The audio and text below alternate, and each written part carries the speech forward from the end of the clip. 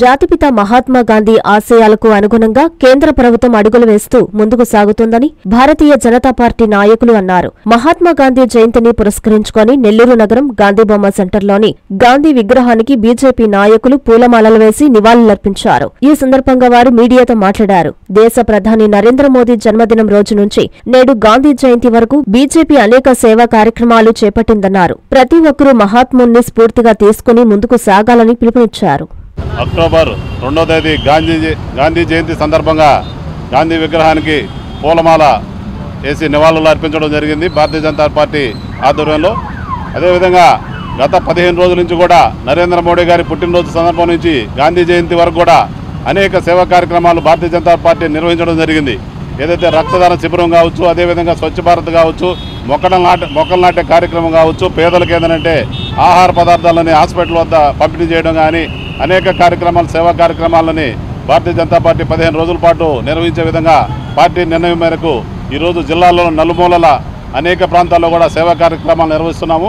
ఈరోజు గా- గాంధీ జయంతి సందర్భంగా అనేక ప్రాంతాల్లో కూడా స్వచ్ఛ భారత్ స్వచ్ఛ భారత్ కార్యక్రమాన్ని నిర్వహించి అన్ని ప్రాంతాలను కూడా క్లీన్గా ఉండే విధంగా ఏర్పాటు చేసి ఈరోజు నిర్వహిస్తున్నామని చెప్పి చెప్పి అందరు కూడా తెలియజేస్తూ ఈరోజు గాంధీ గారికి జయంతికి సందర్భంగా నివాళులు అర్పిస్తూ ఆయనకి నివాళులు అర్పిస్తున్నాం జయంతి సందర్భంగా కేంద్ర ప్రభుత్వం గాంధీజీ ఆశయాలకు అనుగుణంగా దేశవ్యాప్తంగా కూడా పరిసరాల పరిశుభ్రత స్వచ్ఛ సంహిత కార్యక్రమాన్ని పెద్ద ఎత్తున చేపట్టడం జరిగింది.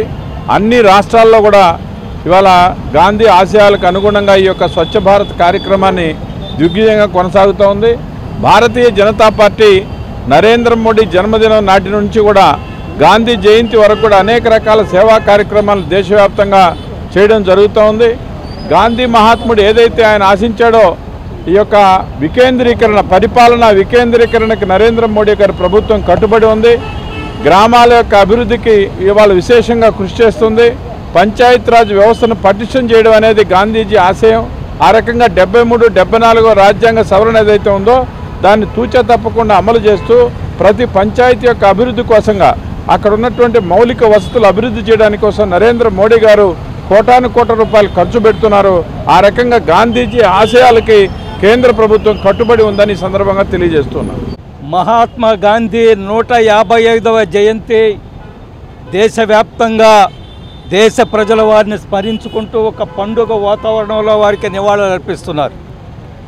ఈరోజు మహాత్మా గాంధీ చెప్పిన అహింస శాంతి సిద్ధాంతాలు ఈరోజు ఈనాడు ప్రపంచానికి చాలా అవసరం ఉంది ఈ రోజుల్లో. మనం చూస్తున్నాం ప్రపంచంలో మొత్తం యుద్ధ వాతావరణం ఉంది.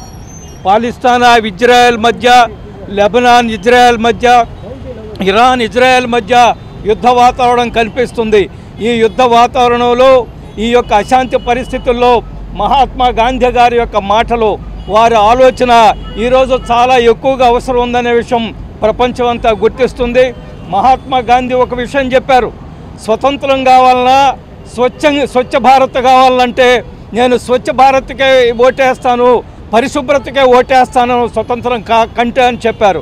కాబట్టి ప్రధాన మహాత్మా గాంధీ గారు చెప్పిన మాటలు ఏవైతే ఉన్నాయో వాటన్నిటినీ ఈరోజు ప్రధానమంత్రి నరేంద్ర మోడీ గారు నిజమైన వారసుడు ఈరోజు మహాత్మా గాంధీ గారికి మహాత్మా గాంధీ చెప్పిన సిద్ధాంతాలను ఈరోజు దేశవ్యాప్తంగా స్వచ్ఛత శుభ్రత స్వచ్ఛ భారత్ తయారు చేయడం కోసం చాలా కష్టపడి పనిచేస్తున్న నరేంద్ర మోడీ గారు నిజమైన వారసులు మహాత్మా గాంధీకి.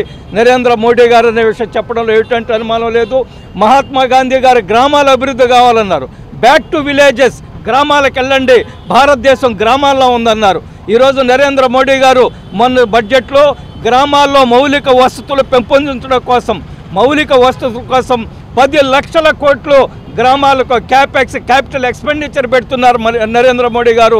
కాబట్టి ఈరోజు మహాత్మా గాంధీ ఆలోచనలు ముందు దేశపోతున్న నరేంద్ర మోడీ గారు ఈరోజు దేశాన్ని దేశ అభివృద్ధికి మహాత్మా గాంధీ ఆలోచనలు ఇంకా వేగవంతంగా ముందుకు తీసుకోవాలా అందుకనే మహేంద్ర మన ప్రధానమంత్రి గారు ప్రపంచంలో జరుగుతున్న యుద్ధ సమయంలో అటుపక్క అనేక దేశాలతో మాట్లాడుతున్నారు.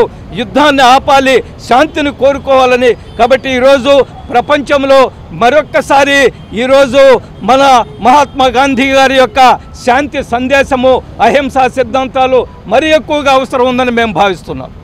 ఎన్ఎల్ హాస్పిటల్స్ సూపర్ స్పెషాలిటీ మరియు స్పెషాలిటీ డిపార్ట్మెంట్స్ నందు అత్యున్నతమైన నైపుణ్యం కలిగిన అధునాతన వసతులతో విశిష్ట వైద్య సేవలు అందిస్తున్న మా ఎన్ఎల్ హాస్పిటల్స్ ద్వితీయ వార్షికోత్సవ శుభ సందర్భంగా నెల్లూరు జిల్లా ప్రజలకు మిత్రులకు శ్రేయోభిలాషులకు మా హృదయపూర్వక శుభాకాంక్షలు. ఇట్లు management and staff NL hospitals PVR Kalyana Mandapam ఎదురుగా అన్నమయ్య సర్కిల్ దగ్గర మాగుంట లేఅవుట్ నెల్లూరు.